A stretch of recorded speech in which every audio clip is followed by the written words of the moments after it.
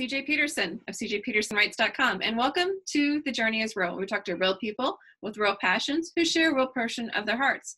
Today, my guest is Shawn Oueinsteen. He's going to be talking about how he uses fiction to combat climate change. Thank you for coming on today, Shawn. Oh, you're welcome. No, uh, this, this, this, this is thrilling. I'm very happy to be here. Awesome. Um, climate change in and of itself is kind of an interesting topic. Um, can you share a little bit as to how that came about to be your passion? Okay, well, I started a long time ago. I, I was probably about eight or nine, ten years old. Uh, I was always interested in science. I uh, had a science journal that my one of my, my elementary school teachers uh, got for me. Mm-hmm. And in that, there were articles by Roger Revelle, who is the or was the professor of Al Gore. So, and he was writing about climate change. Um, so, from probably less than 10 years old, I, I was reading about it. I thought it was interesting. I thought it was a little bit scary. Um, and it sort of like was in the back of my mind for, for years and years and years from, from probably 10 years old on. Mm-hmm. Um, and then uh, over the years, uh, being interested in science, being interested in, uh, I, I, always been sort of science involved. Um, I got into uh, like reading Jim Hansen, reading reading about what's happening with with climate change, and it, it's something that when I uh, wanted to write a new novel, I told myself I need to, I should be doing, I should be using my talents, whatever skills I've got, mm-hmm. to fight climate change. Because because hey, it, it might very well destroy all life on Earth, and, and, and if I can do anything at all to possibly fix the situation, I'll do it. Right. Being an author, we learn from the author's perspective, perspective. It's a lot easier to write what you know, and it's a lot easier to write what your core is. I'm a Christian fiction author, so everything that I write has a Christian twist to it. So mm-hmm. everything that you write is going to have like a science twist to it, correct? Pretty much so. Yes, I think so well, there's also politics. I, I live in the Washington D.C. area, mm-hmm. uh, so it's hard to avoid politics, and, and climate change is very much a kind right in your face. right. Yes. Yeah. So, so, how are you using it to like affect climate change? Like, how are you using it in your books? Okay. Well, my the the novel that I'm I'm just now finishing up is set in a world that has uh, it's post-apocalyptic essentially. The um, civilization has crashed, mm-hmm. mostly because of uh, the migration, the climate refugee problem that that you've got refugees in America who are coming into cities from from Miami, from from the coastlines, from the drought areas. They're coming into cities like Lincoln, Nebraska, which has absolutely no climate problems, and they're looking for jobs they're looking for food they're looking for water they're looking for for place to live. Eventually lincoln nebraska runs out of room runs out of food runs out of water and and lincoln and, and the people who are coming from from florida they're americans they'll have guns. And eventually the entire civilization collapses. Um, so that that's where my novel starts is is civilization has collapsed. Uh, I've got it's the story of a family who is living in a satellite, uh, not even a satellite, or a rocket launching station in oh. Alaska. They are launching rockets to try and save the planet. The, the, the grandfather of the family is a rocket scientist. The uh, mother of the family is a biological scientist. Um, they're sort of combining their skills to to to save the planet. Mm-hmm. But they're now out of rockets. Uh, the kids are now um, in their teens, and they've never seen other kids. So the the story is about the family moving actually to Antarctica, where they'll find more their own family that happens to, to be settling um, settling a colony in in in Antarctica, and that's really what the story's about.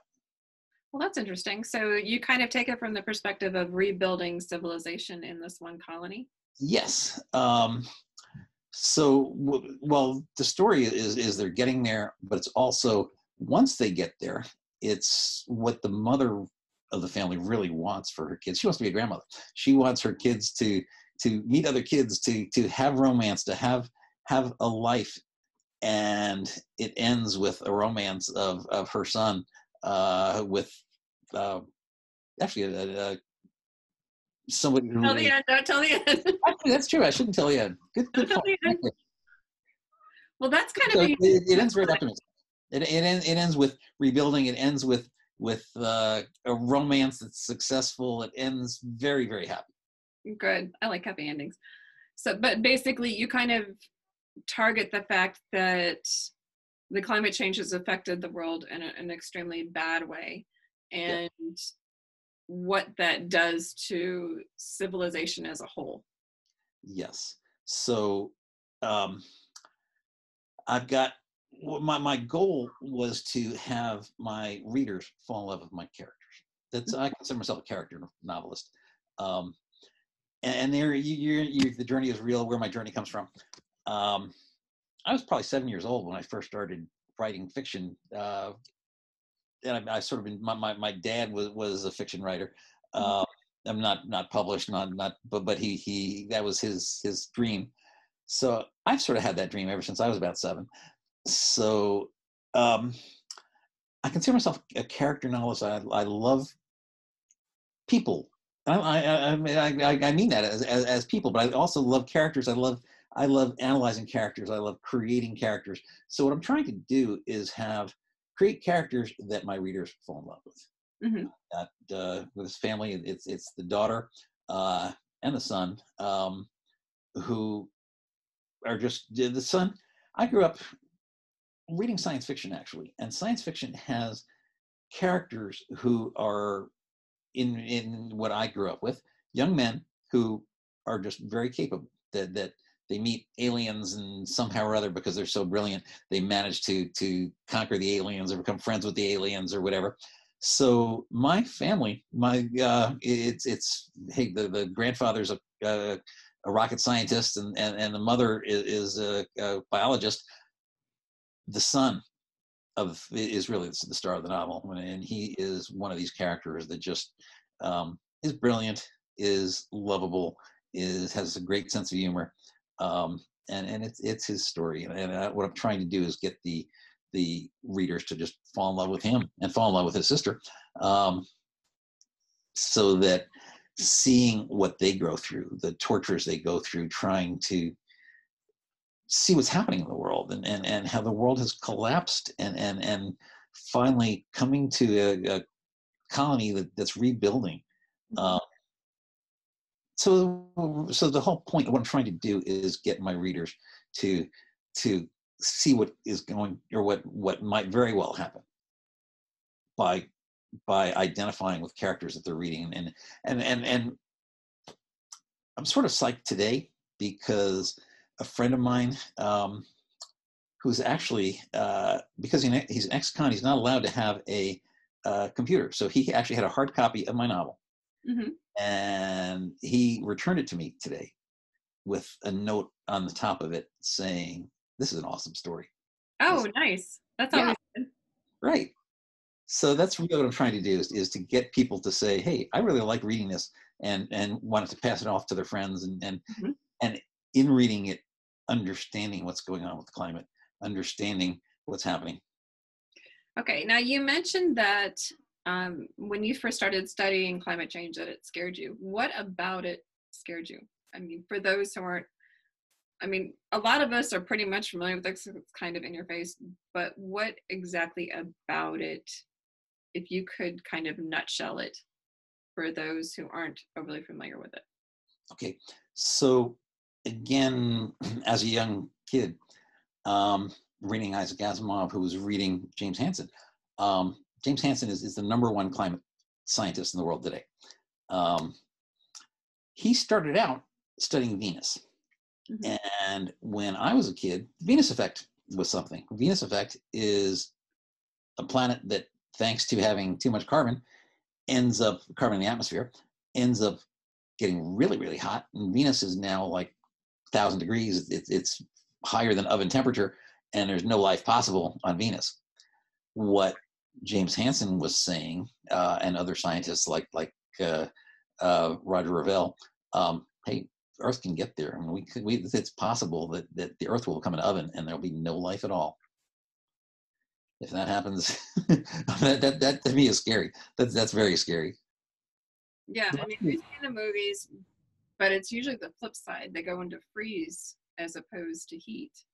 Yeah, that, that's interesting too, because back in the when I was a kid, uh, in the 60s, 70s, whatever, um, they were talking about going into into a freeze, hmm but um, that was sort of not quite scientific. It was more um, hey, became a movie, became uh, so so it was never really real. hmm Um, the real science of it is, uh, and we we've known about climate change um, probably since about uh, 1905, 1910. Um, if I can uh, grab, uh, there was like a woman Eunice Foote in 1856 and John Tyndall in 1859, um, who their test, and and Eunice Foote did it first. John Tyndall got famous because of it because he he happened to be the man.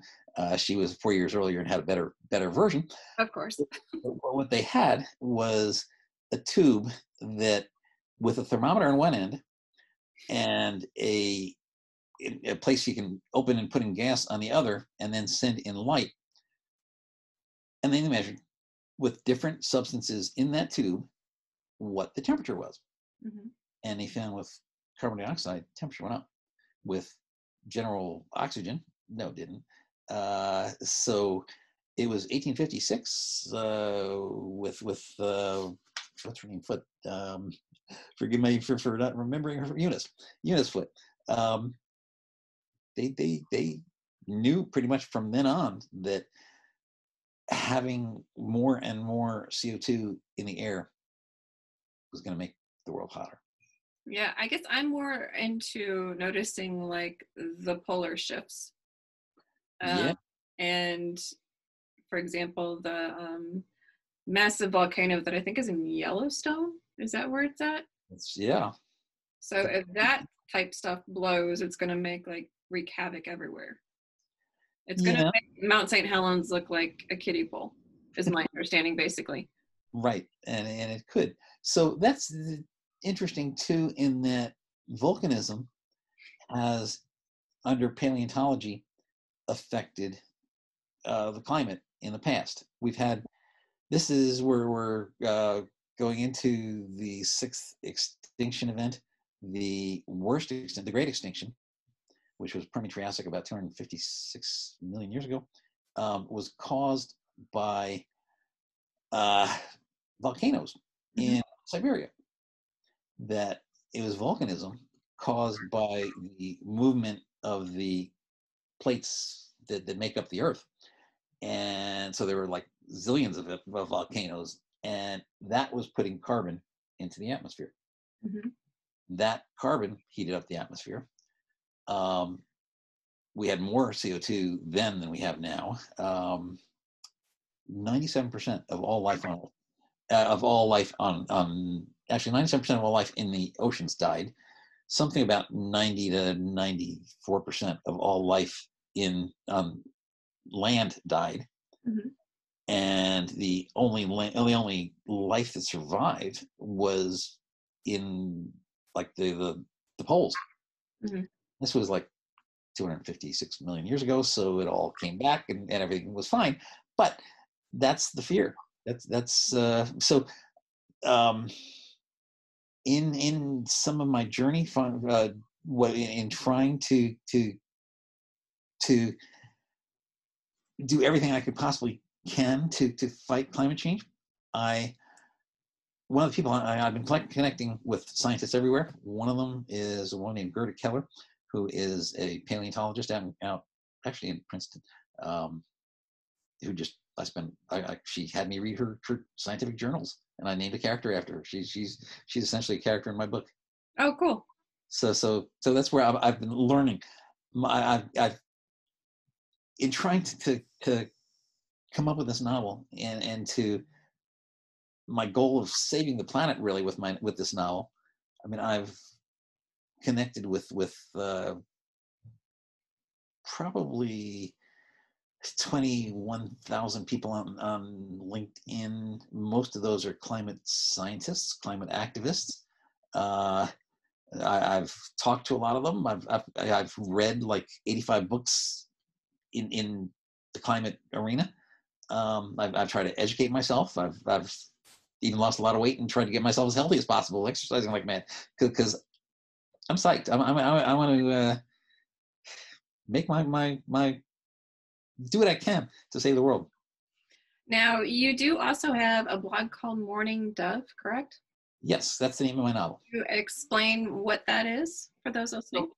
So, uh, in my carport, I need to tell the story of the Mourning Dove. Um, one day, my wife has uh, terracotta pots. Mm-hmm. Have a the carport has a window from the house into the carport, and there's a uh, brick shelf that my wife had flowers on, terracotta pots. One day I see the terracotta pots on the ground, and I put I like try and put them back. She's gonna blame me. So um, the the the next day, one of them's on the ground. One of them there looks like there's like twigs. Turns out a bird built a nest in that pot. Um, the uh, first year, uh, it turned out to, it was a mourning dove because I looking them up. I took photos and, and, and they went to Google and um, they had uh, two babies and, and they all flew off. Everything was wonderful. The next year, they're back. Same nest, same same birds. Huh. And my neighbor on this side, uh, so my right side of the for, for people that aren't seeing, my left side is the carport, my right side is my neighbor. I was looking out my window to the neighbor on the right side, and there was a, the, he had, he doesn't anymore, but he, he has a different cat. He had an ancient, big, fat cat that was like, oh no, how, how old cats can possibly be. Yeah. Uh, this and, isn't going to end well, is it? No. So, so the uh, cat, one day, uh, I'm watching the cat is in un, underneath a bush, pounces as fast as I've ever seen a cat move, faster than I've ever seen it move before, grabs something, goes back under the under the bush, and from that point, from next 18 hours, the male mourning dove, rather than sitting on the nest with two eggs in it, he stood, sat probably about a foot away. And oh. for, for the next 18 hours, the mourning dove uh, was making a, a, the the sound of the mourning dove, which is coo, curry, coo, coo, coo. Mm-hmm. He did that, and I, I, was going up to him and saying, "Hey," because uh, we became friends pretty much. He, would allow us to, to get pretty close, and I was saying, "Look, if you were to sit on those eggs, they'd probably hatch. They're they're almost ready to hatch." He he didn't pay any attention to me. Uh, after 18 hours, he flew away. The eggs essentially disintegrated. A year later, he was back and spent four hours. This time, the year later, right next, standing in the exact same place, right next to the nest. We never touched it because it was like too too depressing to touch it. And he did the same kukri cuckoo cuckoo as loud as he possibly could. So my, I use that scene in my novel. Mm-hmm. I have the grandfather actually telling uh, the, the grandchildren and and his son this story to get the father to take care of his his his children and get them off to to Antarctica. Gotcha. So that's sort of how the how the story starts. And the mourning dove, um, the daughter actually pretends to be a mourning dove uh, to to help convince the father. So she really is the the the mourning dove of the novel. Well, that's cool. So, in your blog, what do you do? What what areas do you touch about? Basically, climate change, or yeah. So so it's mostly about climate change, but what I try to do in the blog is to be upbeat. So I've got one of my blog entries is climate jokes. Um, one of my blog entries is a play in which I've got, and so it's like a two or three page play where I've got um, a uh, um, climate scientist, I've got a writer, and I've got average Joe, and the uh, the the writer is trying to tell average Joe, hey, um, you can you can keep your your big gas guzzler, but instead of being a gas guzzler, it should be a Tesla. Uh, or electric car. I didn't. I don't, I don't think. I don't think I use the word Tesla, but but that just the name just comes to me at the moment. So you uh, kind of put a, a, spin on it to kind of show the difference between to make it funny, right? I'm I'm trying to make things funny. I'm trying to make things light, but with as being as convincing as possible as to hey, uh, this is this is something we all need to care about. This is also something we all need to do. Um, but it doesn't have to be painful. We we can do it in in in in a way that that we don't have to struggle. I'm, I'm sort of my point is that we don't have to raise our our thermostats. Uh, we don't have to give up our gas guzzlers, um, and we can still fix climate change if, if we care, if we do things about it, if we if we work at it, um, if we convince people as as I'm trying to do by writing a novel. Gotcha. Okay, so those who are looking for you online, how do they find you? Okay, uh, well, my website is www.shawnoueinsteen.com and I spell Shawn Oueinsteen, S H A W N O U E I N S T E E N dot com. And the, one of uh, the, my thoughts with spelling my name that way is sort of the, the French way, uh, starting with a we, like like the French yes. So that that's so that's the way to think about it is O-U-E-I-N-S-T-E-E-N dot com. That, that's Shawn Oueinsteen. Gotcha. Well, we have a few more minutes left. Um, we have about three more minutes. Is there anything you'd like to add? Well, I have to add my blog because um, my blog is really where I've got uh, most of my what I'm trying to do to, to, to convince people to, to, fight climate change. And it's also where I'm I, I discuss my novel most. So it's um, Mourning Dove um, mourningdovenovel.blogspot.com uh, is, is, the URL. Um, it, it's spell that out quick. Right, M O U R N I N G. It's the, the birds are mourning. That's a, that's the kukri coo coo coo sound. It sounds like morning. M O U R N I N G D O V E N O V E L dot blogspot b l o g s p o t dot com. Okay, and when your book comes out, where can they find that? Will they find information on your website from that? Absolutely. Awesome. Well, we're looking forward to it. Um, you know, words inspire the revolution. Who knows what your words may do? They may inspire somebody to yeah more of an interest in climate change and what it's doing to hurt our world. Yeah, no, I was inspired by um, Abraham Lincoln's comment to Harriet Beecher Stowe. So you're the little lady that started this great war. That's the power of a novel. So, there so you go. That, that, that's that's what I'm trying. I'm trying to do what Harriet Beecher Stowe did to end slavery. I'm trying to to do the same thing to to save the planet from climate change. There you go. Well, thank you so much, Shawn, for coming on today. We really appreciate you and really appreciate your insight. Looking forward to that book coming out. I'm kind of curious to see what it is as well. I'm kind of a sci-fi buff, so that's kind of right up my alley. All right, good um. For those listening, again, you can find them at www.shawnoueinsteen.com. And thank you guys for watching The Journey is Real today. I'm CJ Peterson with cjpetersonwrites.com. And The Journey is Real is where we talk to real people with real passions who share a real portion of their hearts. Until next time.